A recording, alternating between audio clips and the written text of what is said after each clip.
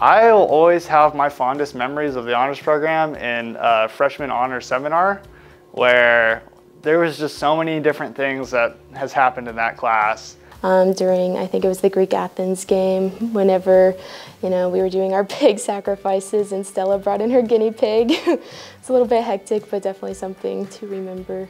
I was in the crowd for the French game, and it was just so much fun because my job was to be loud and yell and wreak havoc and just make people mad. And by the end, everyone was mad at me and my group, and they were like, off with your head.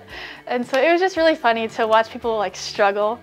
I knew the second and third weeks of playing and I was down. I was like, they might as well just uh, remove me from my uh, clergy seat. But I end up coming back and winning a dice roll. I think I have like a one out of six chance of winning, and I get that one out of six chance. And uh, pretty much anybody that was against me, I got rid of. The French game was super fun, and I hated being Lafayette. For being honest, I did not want that role. But um, it was honestly fun, and the fact that I didn't die, people tried to kill me multiple times. I'd say I was doing my job if they weren't liking what I was saying, so that's probably my favorite memory. The movie events with honors. um, my freshman year, we went and saw Tenet, and then we went and discussed it afterward, and it was an amazing movie, and the getting to talk about it afterward was so fun. And then um, this year we did the same with Dune. Both amazing movies and great discussions and really interesting conversations.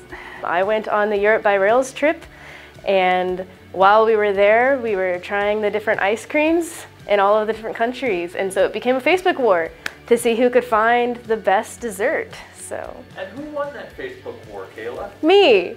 While we were in Poland, I heard the ting ting as we were walking into the market and I knew that sound and it was a blacksmith. And I said, I looked at Dan and Austin and I said, we have to go to this blacksmith shop. So we did.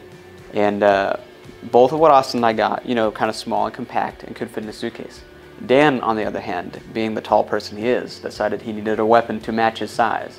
So he bought a warhammer that was about this big. We tried to ship it in Germany, but the post office refused to. So what we did was we put it in my suitcase, and it stuck out about the two feet, and uh, we put it on the conveyor belt to say our bags goodbye. McFall was sure that we would never see that hammer again. And then when we got back to Wichita, my bag came out, and I remember we saw it. I went and grabbed it, and we yelled McFall, and I pulled it out, and we were just holding the warhammer in the airport. And all McFall could do was laugh and shake his head.